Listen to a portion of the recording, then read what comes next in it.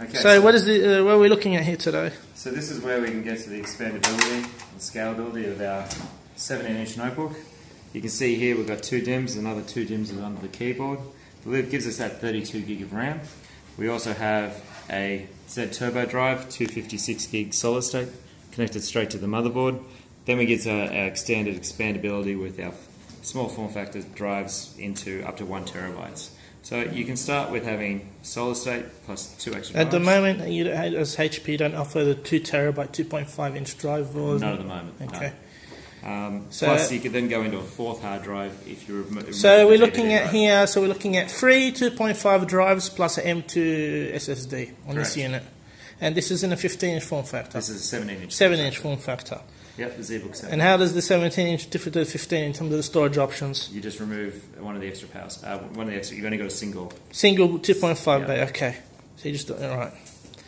And the, the, um, this one, what graphics we're looking on this model here? This one's got the K5100M, which is an 8 gig graphics card. 8 gig. And let's have a look at the screen. Screen. then, so just so my readers can be uh, uh, clear, the all the HP mobile Z workstations all have this uh, modular quick removal style design. Absolutely, even down to our 14 inch model. So if, say, in the future, hypothetically offered, say, an ultrabook form factor, would that also be a modular slash upgradable?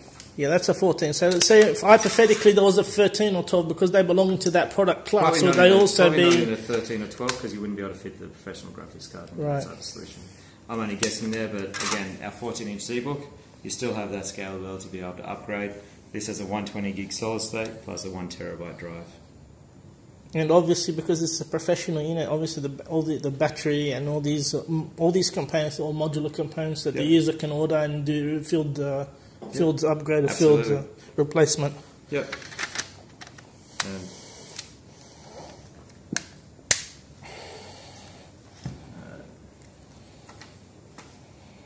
Does the 14? al- This is, has a backlit here, so the 14 has the backlit as well. Yep, absolutely. Premiere Pro running.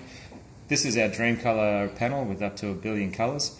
What really strikes out is the quality of the uh, picture, but also the really wide viewing angles. You're able to collaborate around the system, being able to view from many angles. Um, John, do you want to go into sort of the full res of your sure. Ultra HD? So the screen lineup for the this uh, That's the release of the Z, um, Z series workstation, we're looking at Full HD and QHD. That's right. 17 inch has full HD DreamColor. The 15 inch has QHD. Come on, you're gonna go off. And Can the end user calibrate these screens if they need to calibrate them with an external calibration system? They can indeed. And this is a 6K footage you said, John? Uh, yeah. Oh, hang on. That's actually the 6K, but it's actually in um, Uh, the 1080 timeline. So Yep. I'll just do a match frame. And then this here is that's the 6K. So you're running 6K from a red camera, RED Dragon camera. Red Dragon. Yep. Now, if we turn that from an angle, you can really see the quality of the, the screen. Yeah, And the the quality of the the, colour. the cream doesn't turn grey; it stays Absolutely. the right shade.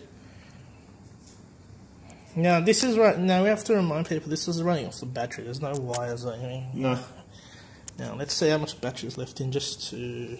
And this has been running all day. So you've been demonstrating this different media all day, has it? Uh, well, it's been yeah, it's been running all day. So let's see. There should be still some left in it. Got 18%. Yep. So that's not too bad considering you've been running since the morning and it's all been, what has it been doing? It's been rendering 3D graphics and 6K video and Yep. all that sort of thing. Running Creative uh, Cloud 14, uh, 14.1, 2014. 20, point- 20, point- uh, 2014.1. And does HP have like some sort of recommended battery life for these sorts of professional units or is it just I'd have to check because it's going to depend on the software that you're running um, Okay. and the conditions you're running them in. There's lots of different specs and settings for uh, battery, so it's one of those things that can be uh, very dependent on the user's flow. okay? And the what's the availability of these different ones? So All available now. all available now, Yep.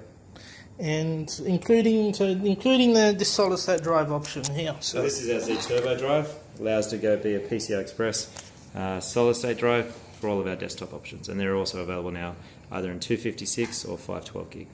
And the end user that have to get this option as is, they can't just get the card from you and they supply their own SSD. Uh, no, you'd still have to get the full solution from us. Okay.